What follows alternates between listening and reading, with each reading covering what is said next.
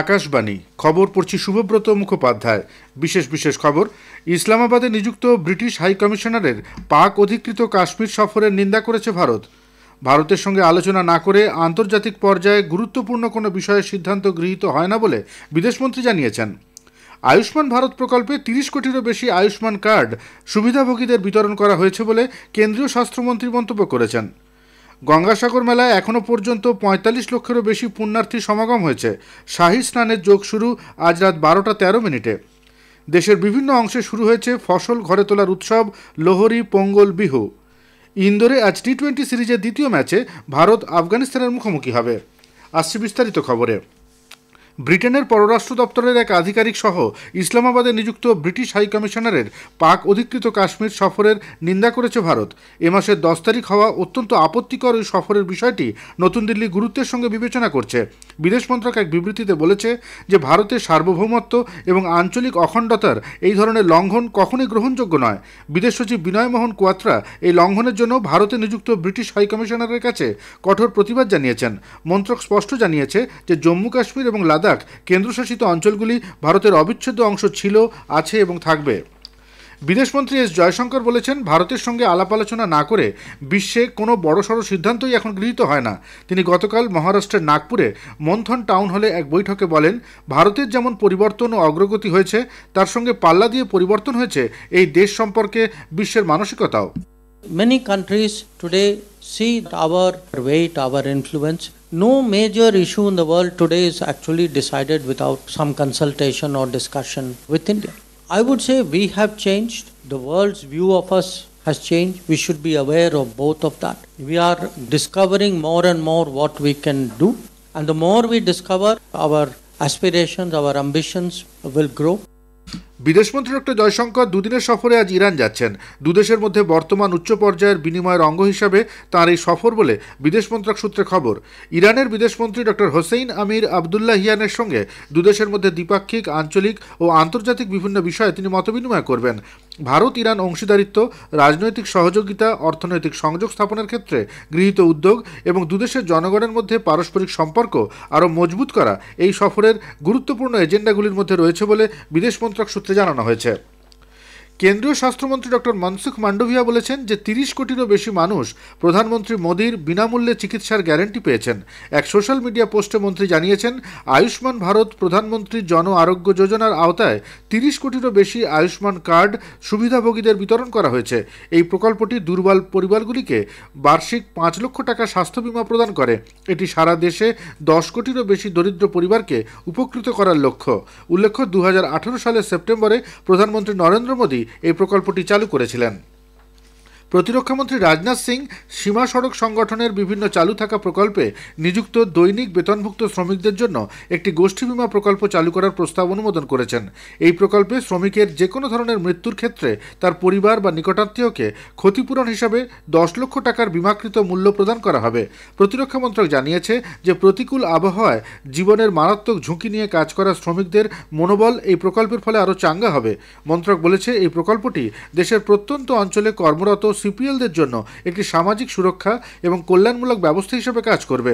সম্প্রতি প্রতিরক্ষামন্ত্রী সিপিএলদের উন্নতির জন্য অনেক কল্যাণমূলক পদক্ষেপের অনুমোদন দিয়েছেন। এর মধ্যে রয়েছে মৃতদেহ সংরক্ষণ ও পরিবহন অন্ত্যেষ্টিক্রিয়ার সহায়তা এক হাজার থেকে দশ হাজার টাকা উন্নীত করা এবং মৃত্যুর ক্ষেত্রে তাৎক্ষণিক সহায়তা হিসাবে পঞ্চাশ হাজার টাকা এককালীন ক্ষতিপূরণ প্রদান প্রভৃতি। বিজেপি সভাপতি জেপি নাড্ডা প্রথমবারের ভোটারদের কাছে পৌঁছানোর জন্য নম নব মতদাতা নিবন্ধন পোর্টাল চালু করেছেন। পোর্টালটি সমস্ত নতুন ভোটদাতাকে বিকশিত ভারতের রাষ্ট্রদূত হিসাবে নিবন্ধিত করার একটি মঞ্চ হিসাবে কাজ করবে। তরুণদের মধ্যে দলের উপস্থিতি জোরদার করতে এবং একটি প্রাণবন্ত গণতন্ত্রের সাথে এর সংযোগ আরও দৃঢ় করতে পঁচিশে জানুয়ারি সমস্ত বিধানসভা জুড়ে পাঁচ হাজার সম্মেলনের আয়োজন করা হবে। খবর শুনছেন আকাশবাণী থেকে।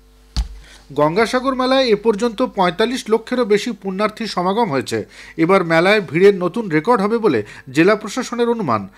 শাহী স্নানের যোগ শুরু হচ্ছে রবিবার রাত বারোটা তেরো মিনিটে। চলবে পরদিন বেলা বারোটা তেরো মিনিট পর্যন্ত। অসমে ফসল কাটার প্রাণবন্ত উৎসব মাঘ বিহু উদযাপিত হচ্ছে। এই উৎসব ভোগালী বিহু এবং মাঘর ডোমাহি নামেও পরিচিত। বছরের প্রথম এই উৎসবে বিভিন্ন সম্প্রদায়ের মানুষ একত্রিত হয়ে সমৃদ্ধির জন্য প্রার্থনা করেন। তামিলনাড়ুতে একে পোঙ্গল, পাঞ্জাবে লোহরি এবং ভারতের উত্তরাঞ্চলে মকর সংক্রান্তি বলা হয়। এই বিহু দুদিন ধরে পালিত হয়। মাঘ বিহুর সময় প্রধান উদযাপনের একদিন আগে থেকে শুরু হয় ভোজ এবং আলো জ্বালানো। মাঘ বিহুর আগের দিনটিকে বলা হয় উরুকা বা বিহু ইভ, যা অসমীয়া ক্যালেন্ডারে পৌষ মাসের শেষ দিন। অযোধ্যার রাম মন্দিরে রামলালার প্রাণ প্রতিষ্ঠার দিন যতই এগিয়ে আসছে, মুখ্যমন্ত্রী যোগী আদিত্যনাথের নেতৃত্বে উত্তরপ্রদেশ সরকার অযোধ্যাকে নতুন, মহৎ এবং ঐশ্বরিক অযোধ্যা হিসাবে সাজানোর প্রস্তুতি নিচ্ছে। গতকাল এক আনুষ্ঠানিক বিবৃতিতে মুখ্যমন্ত্রীর কার্যালয় জানিয়েছে, প্রস্তুতির অংশ হিসাবে রাজ্য সরকার চৌধুরী চরণ সিং ঘাটে দেশের বৃহত্তম ভাসমান স্ক্রিন তৈরি করছে, যা পরে আরতি ঘাটে স্থাপন করা হবে এবং প্রাণ প্রতিষ্ঠা সম্পর্কিত প্রদর্শনী দেখাবে। ভাসমান স্ক্রিনটি দর্শক এবং স্থানীয় বাসিন্দাদের বাইশে জানুয়ারি রাম মন্দিরে প্রাণ প্রতিষ্ঠা এবং তারপরে অন্যান্য সাংস্কৃতিক অনুষ্ঠান ভালোভাবে দেখতে সাহায্য করবে। জাতীয়তাবাদী মুসলিম সংগঠন মুসলিম রাষ্ট্রীয় মঞ্চ দাবি করেছে, দেশের চুয়াত্তর শতাংশ ইসলাম ধর্মাবলম্বী অযোধ্যায় রাম মন্দির নির্মাণ নিয়ে খুশি। তারা মনে করেন, নরেন্দ্র মোদী দেশের সবচেয়ে সফল প্রধানমন্ত্রী। এক বিবৃতিতে গতকাল তারা জানিয়েছে, গোটা দেশে সমীক্ষার ভিত্তিতেই এই মতামত উঠে এসেছে। মঞ্চ আরও বলেছে, ভগবান রাম দেশের প্রতিটি অঞ্চলের মানুষের মনে চিরস্থায়ী জায়গা করে নিয়েছেন। সমীক্ষায় আরও বলা হয়েছে, প্রধানমন্ত্রী মোদীর কথা শুধু ভারত নয়, গোটা বিশ্বই আজ মন দিয়ে অনুধাবন করছে। তাই দেশের সত্তর শতাংশ মুসলিম জনতা তাকে সমর্থন করেন।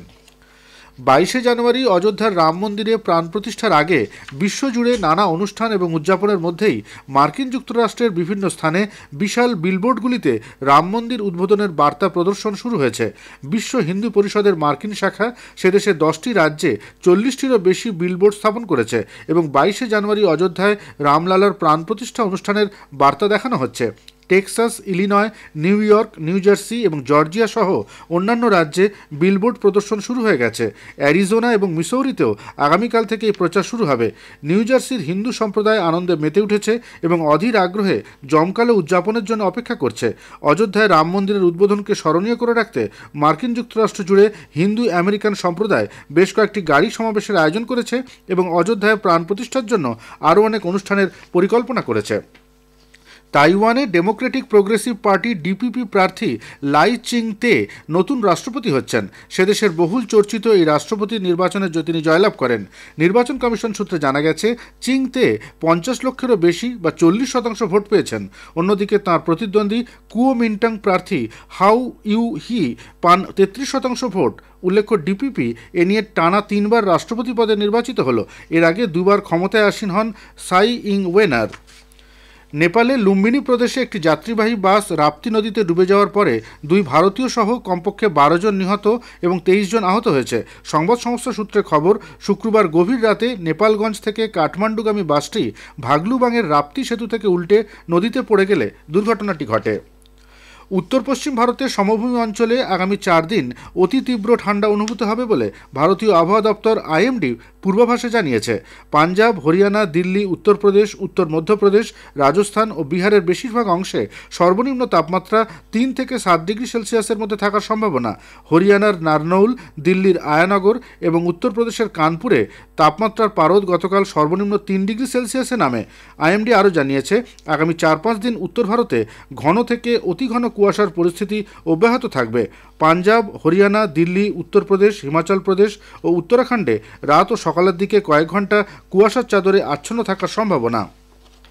ইন্দোরের হোলকার স্টেডিয়ামে ভারত আজ টি টোয়েন্টি ক্রিকেট সিরিজের দ্বিতীয় ম্যাচে আফগানিস্তানের মুখোমুখি হবে। খেলা শুরু হবে সন্ধ্যে সাতটায়। বিরাট কোহলি আজকের ম্যাচে দলে থাকছেন। উল্লেখ্য, প্রথম ম্যাচে জিতে ভারত সিরিজে এক শূন্য এগিয়ে রয়েছে।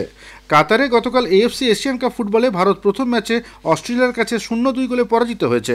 টুর্নামেন্টের প্রথম ম্যাচে আয়োজক দেশ কাতার লেবাননকে তিন শূন্য গোলে হারিয়ে দেয়। ভারত বৃহস্পতিবার তাদের পরবর্তী ম্যাচে উজবেকিস্তানের বিরুদ্ধে খেলবে। কুয়ালালামপুরে মালয়েশিয়া ওপেন ব্যাডমিন্টন টুর্নামেন্টে পুরুষদের ডাবলসের ফাইনালে আজ দ্বিতীয় বাছাই ভারতের সাত্বিক সাইরাজ রাঙ্কিরেড্ডি ও চিরাগ শেট্টি জুটি শীর্ষ বাছাই চীনের লিয়াং ওয়েইকেং এবং ওয়াং চ্যাং জুটির মোকাবিলা করবেন। উনিশশো তিরাশি সাল থেকে এই প্রথম কোনো ভারতীয় জুটি এই প্রতিযোগিতার ফাইনালে উঠলেন। শেষ করার আগে খবরের বিশেষ কিছু অংশ আরও একবার। ইসলামাবাদে নিযুক্ত ব্রিটিশ হাই কমিশনারের পাক অধিকৃত কাশ্মীর সফরের নিন্দা করেছে ভারত। ভারতের সঙ্গে আলোচনা না করে আন্তর্জাতিক পর্যায়ে গুরুত্বপূর্ণ কোনো বিষয়ে সিদ্ধান্ত গৃহীত হয় না বলে বিদেশমন্ত্রী জানিয়েছেন। খবর শেষ হলো।